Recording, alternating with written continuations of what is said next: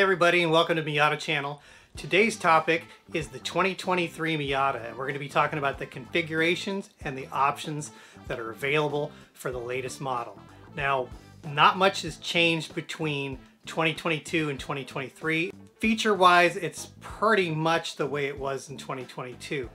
There aren't really new options. There is a new color, which we'll talk about in just a little bit, but I'm going to kind of go over the different models, the different configurations, and how that's going to work out for 2023. Now these cars are arriving at dealers right now and if you want to order a club, I recommend that you do it in the next few weeks or you're probably going to miss out on the window for 2023. The first model we're going to talk about is the Sport. Now the Sport's kind of the base model. It comes with 16 inch wheels. It doesn't come with any of the fancy options.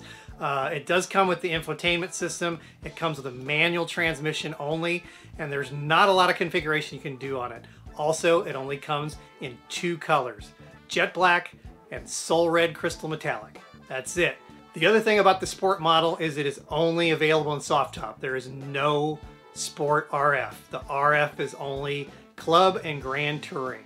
And the starting price of the Sport is $28,050. Now there's probably going to be some situations that people are going to say, hey Zeke, you know, they actually made this car even though you said they didn't make it. And yeah, that happened last year. There were all these weird cars that came up like a Platinum Quartz Sport model and and things like that. And yeah, there's going to be some outliers here, but this is basically going off of Mazda's configurator online.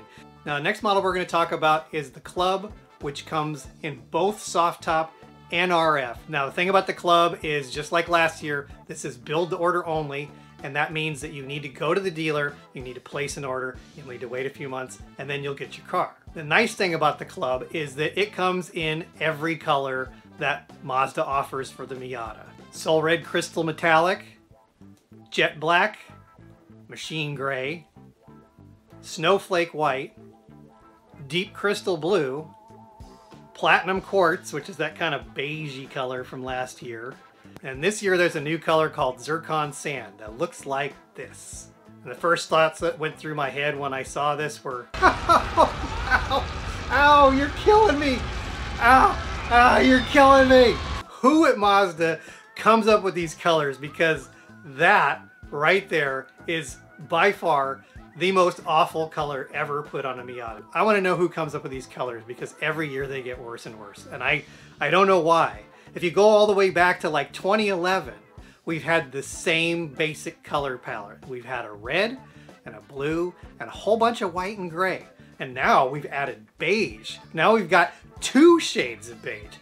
What is wrong with you people? and then I go online and I see all the people talking about how fabulous this color is. I'm like, are you kidding me? This color makes a Miata look like a dog turd that sat and dried in the sun for a while. It's that bad. I'm sorry. This is like the most disgusting color. Yeah. all right, let's get back to the car. So again, with the club, we got two models, soft top RF, manual only, build to order. And some of the things that you'll note about the club is that it comes with the piano black mirrors on it. It comes with a cloth interior with gray stitching. And the MSRP for a soft top is $31,550. The MSRP for an RF club is $38,950. Now the first question I'm sure people are going to ask is how come the RF club is so much more expensive than the soft top? And that's because on the soft top, the Brembo Recaro BBS option is a $4,500 add-on option. But with the RF, it's standard equipment. You can't order an RF club any other way. Now the club doesn't really have a lot of options you can add to it. You can add the appearance package, which is like 800 bucks.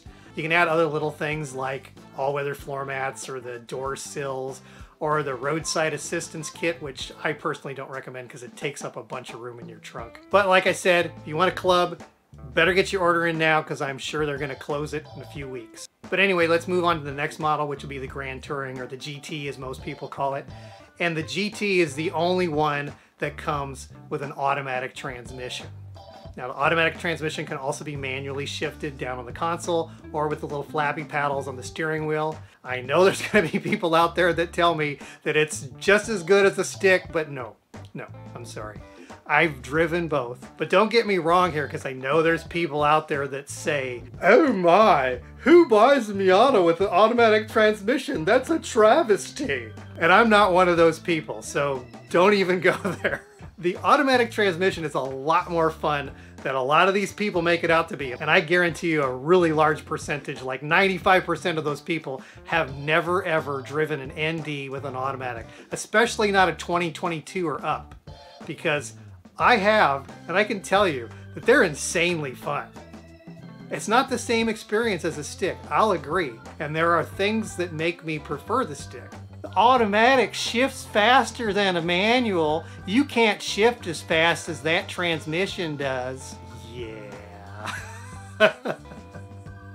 it's still a slush box, I'm sorry. When I tell it to shift, it doesn't shift immediately. There's still a delay from the time I hit that button to the time that gear kicks in.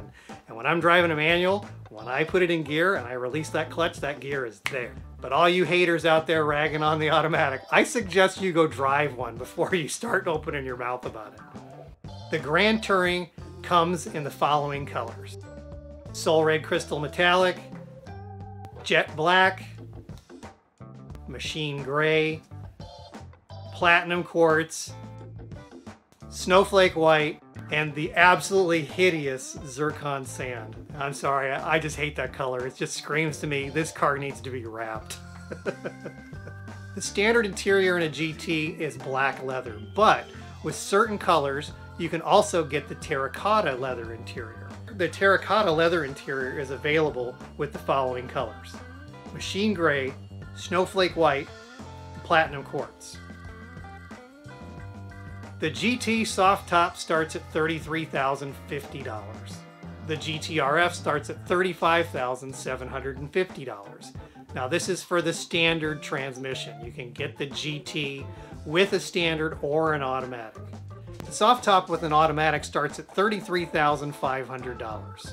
The RF with an automatic starts at $36,300.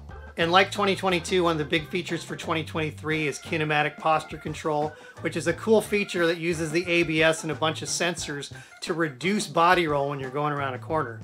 And I recently drove a 2022 with this feature, and I have to say I love it.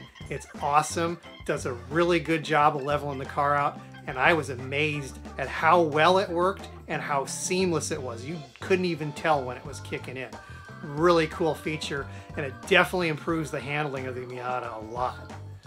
And I'm going to talk about this feature a little bit more in my next video, which is a review of a 2022 Grand Touring Miata. And I have to say, it definitely makes me think about trading my NC in. Not going to happen right now, but it might happen in the future. Who knows? Anyway, that's all I have for today. Hope you enjoyed this video. See you next time.